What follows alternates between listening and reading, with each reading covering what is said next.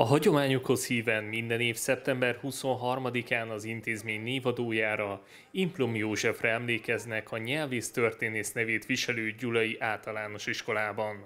Az Alma Mater márciusban érdemelte ki az Örökös Ökoiskola címet, melyet szeptember 1 -e óta használhat. A tanév során a szelektív hulladékgyűjtésre, ökotudatosságra, újrafelhasználásra nevelik a diákokat. A felső osztályos fiatalok számára öko kihívásokat fogalmaztak meg. Tíz dolog, amit a Földért tehet címmel. Volt olyan osztály, amely egy kerékpártúra során szemetet gyűjtött asszon az ukba vezető úton. Az alsós diákok egy hat állomásból álló ökotudatosságra nevelő feladat soron vettek részt.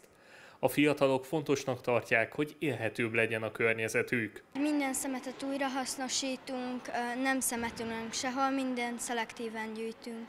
Arról is tanulhattak, hogyan lehet tisztán tartani a környezetünket. Szelektíven kell gyűjteni a hulladékokat, nem szemetelünk, kevesebbet autózunk. A diákok az iskola audájában a szelektív hulladékgyűjtésről szerezhettek új információkat, míg az udvaron többek között aszfaltfestés várta őket. A nap folyamán azt is megtanulhatták, hogy a kertben keletkező hulladékot nem elégetni kell, hanem érdemes komposztálni, mert így a talaj tápanyag tartalmát is javíthatjuk, ráadásul a levegőt sem szennyezzük.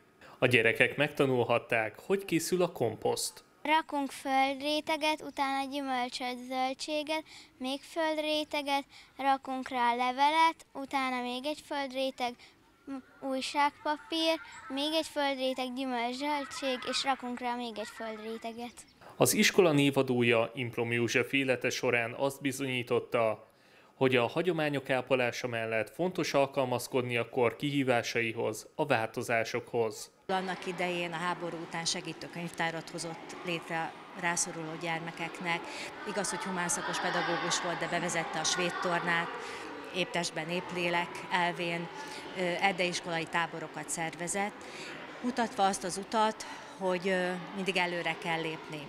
És mi úgy gondoltuk, hogy akkor az ő szellemének is emléket állítva, egy zöld nappal kezdjük a tanévet. Az ökoiskola abban különbözik egy átlagostól, hogy nem csak a tanításban érvényesülnek a környezeti nevelés, a fenntarthatóság pedagógiai elvei, hanem ezek az iskolai élet minden területét átszövik, mindennapi gyakorlatként alkalmazzák. Ezzel alakítják ki a környezettudatos szemléletet.